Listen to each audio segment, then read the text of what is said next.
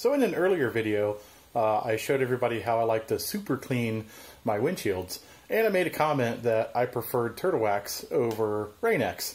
And when I made that comment, I thought, you know, it might be pretty cool to do a little test and wax half my windshield with the uh, Turtle Wax, and then wax the other half with the Rain-X, and then we'll test it going down a highway when it rains, and maybe we'll see a difference, or maybe one side will wear out quicker than the other, and we can determine if one way is indeed better than the other. So that's what we're going to do. We're going to wax half of this car with turtle wax, and or at least the windshield, and then we're going to wax the other half of the windshield with the Rain-X. Reading the bottle of the Rain-X, and I decided to read it because years ago it didn't used to come in a spray bottle. It came in a little bottle that you dumped on your rag and you applied it to your windshield and you let it haze up, and then you went back with another another cloth and you basically polished it off just like you do wax. And reading the directions, it's still the same. You spray it in your in your rag, and we're going to use a microfiber and it says spray it kind of liberally like that. And then it says in small circular patterns, put it on your windshield. Now I've already cleaned my windshield and my windshield's extremely clean because I did a super clean. You can look at my previous video and see that. And we're just doing these circular patterns and we're leaving a little bit on it until it hazes up. Just like this. And you can see it dry and it does leave a little bit of a haze. It's not nearly as bad as wax, but it's there. You can see it. You probably won't see it on the video, but you can see it. And again, just apply a little more. Just put her on just like that. And keep working your way across the windshield. In this case, we're going to do half of it because we're doing a little bit of a test. Now that we've done that once, the direction says do it again. So we're going to do it again.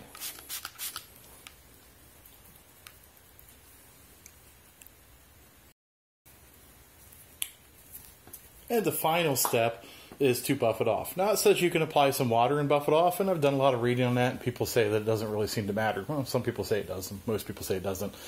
And uh, years ago, you used to just buff it off like we're doing now. So that's what we're going to do.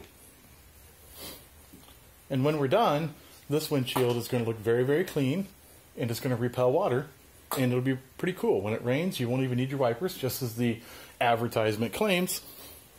And then later we'll do a comparison and see which one holds up better and which one does a better job. Will it be the Turtle Wax or will it be Rain-X?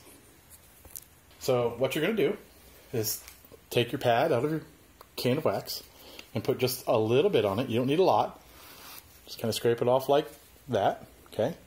And then you're just going to rub it in little circles like this. And you don't need to work work it too much, but you want to work it in a little bit Okay? And I like to do it little stripes like that. And when you start running out, get you a little bit more. Again, just kind of clean it off like that. And you're going to go over the whole windshield, just like this. And you're going to let it dry and haze up. And that's how you use turtle wax anyhow. You never wipe turtle wax off. You put it on, and you let it haze up, and then you buff it. And that's what we're going to do next. So I'm going to work on this windshield, and then we'll come back and we'll buff it. So I've moved the camera just a little bit uh, to try to show you what this windshield looks like now that it's been waxed.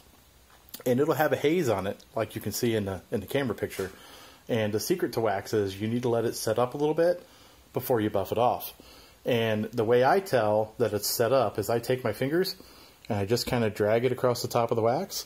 And if your fingers disturb it just a little bit, you really can't see it in a picture, but if it disturbs it a little bit, but you still leave wax underneath it, then we know that the wax is set up and it's ready to buff off.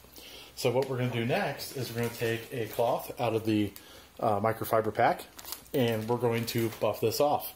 And that's pretty much straightforward. You just take your rag and you go in little circles like this and you just keep going across the windshield until the windshield is clean again. Typically I'll, I'll do about a yeah, half of the windshield and clean it up and polish it like this and then I'll flip the rag over and do it one more time and I'll be light on the second time. And you can't really see it in the camera again but that glass is super clean under that corner. So it's the morning after and apparently it rained last night and you can see a difference already. The side that I did a wax on um, is pretty clear and the side that we did the Rain-X on it has beaded up um, and it would probably blow off driving down the road, uh, but there are still beads of water laying on the windshield. So we already see a difference between waxing and Rain-X. So now we have a uh, nice rainy day, and I think I'm going to have to eat a little bit of crow. The Rain-X side is really clear, and the rain beads are really tiny, which I think is the key here. They're very small, and the uh, the wind kind of blows them up and over the windshield, and you can see right through them pretty easily. On the driver's side, it's still beating up and running off the windshield, but uh, not clear nearly as fast as the Rain-X.